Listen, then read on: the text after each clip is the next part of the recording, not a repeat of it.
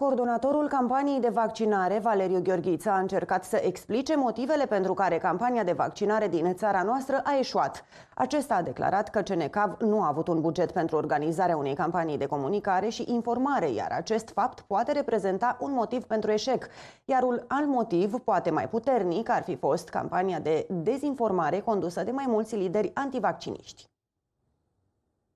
Acesta a precizat că CNCAV nu a avut un buget pentru organizarea unei campanii de comunicare. Nu s-au alocat uh, bani, sau cel puțin CNCAV, comitetul pe care îl coordonez, nu a avut fonduri pentru campania de comunicare și de informare. Obiectivul campaniei de comunicare și de informare pe care noi l-am avut încă de la început din noiembrie a fost de promovarea încrederii populației în știință și în sistemul medical, în medici. Tocmai pentru că pandemia este o problemă medicală. Este vorba de o boală infecțioasă care se răspundește foarte mult, are în momentul de față impact la nivelul întregii planete și uh, tocmai de aceea am considerat că rolul primordial, rolul, rolul central îl are corpul medical în definiția lui cea mai largă. Da. Gheorghiță a comentat și derapajele unor lideri antivaccinare care au condus ample campanii de dezinformare în România. Acesta a precizat că astfel de personaje nu există în alte state cu o campanie de vaccinare de succes. Nu, și asta este, cred că, un lucru care face diferența. Uh, pot să vă spun că din aceleași uh, informări pe care le-am primit,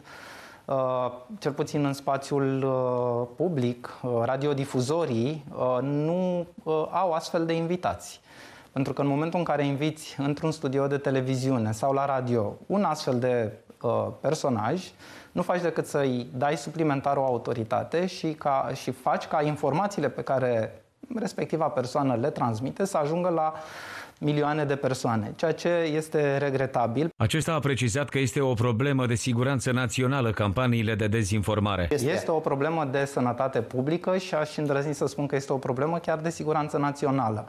Tocmai de aceea cred că trebuie să fim extrem de precauți în momentul în care uh, dăm autoritate unor persoane care nu au expertiza necesară să vorbească pe teme Amenințările la adresa sigur. În uh, perioada pandemiei am observat cu toții că fenomenul de dezinformare a fost uh, a luat amploare foarte mult și începând de la măsurile nefarmaceutice, de la purtarea măștii de protecție, au fost o grămadă de uh, discuții legate de importanța respectării măsurilor igienico-sanitare, lucruri care sunt absolut banale și țin până la urmă de educația noastră sanitară.